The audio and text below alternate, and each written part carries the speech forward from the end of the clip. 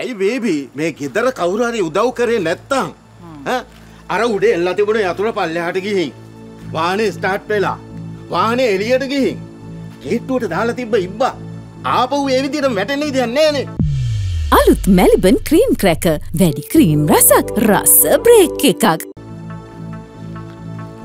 මල් පෝච්චියක් වගේ ගන්න උස්සන් ගිහලා තාපෙන් එහා පැත්තෙන් තියන්න පුළුවන්. මල් පෝච්චිය නෙමෙයි මේක වාහනයක් නේ. Yes yes yes you are correct you are correct දැන් මෙතන මොකක් හරි. කුමාර කුමාර ඔබ මේ ගැන විස්තරයක් දන්නවද? මන් දැනගත්තෙත් නෝල්ල දැනගත්ත වෙලේ තමයි වාහනය ගෙදර නෑ කියලා. කිසිම සද්ද බද්ධයක් නැතුව වාහනේ කොහොමද ගෙයින් එළියට යන්නේ? ඈ? ගේ ඇතුලේ එල්ලලා තිබ්බ යතුරු කොහොමද එළියට යන්නේ?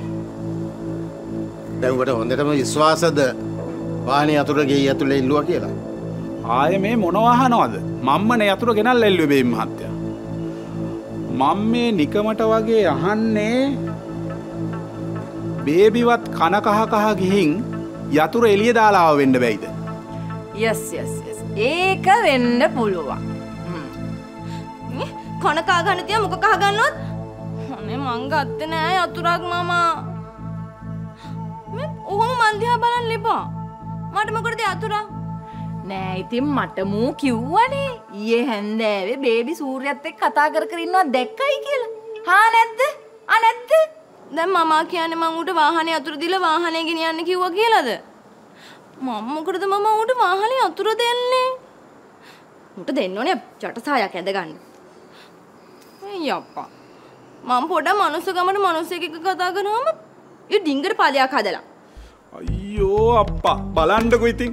මං විශ්වාසයට බේබි නෝනට කිව්ව එක මේ මං ඉස්සරහම හැකිස්සුවනේ ඉන්නකෝ තමසට දෙන්න දේවල් ගොඩාක් තියෙනවා මල්ලඟ ඒ ටික නම් තමසට හොඳට හරිය.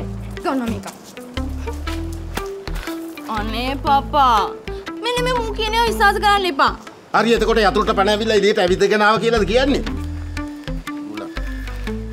ඉන්නකෝ මම තමසට පස්සේ බලා ගන්න මේක නම් හොයන්න ඕනේ හරිද? ඔයන්නම ඕන බීබී. ඔයන්ඩ මෝනේ ඔයන්ඩ මෝන මේ. පලයන් පැත්තකට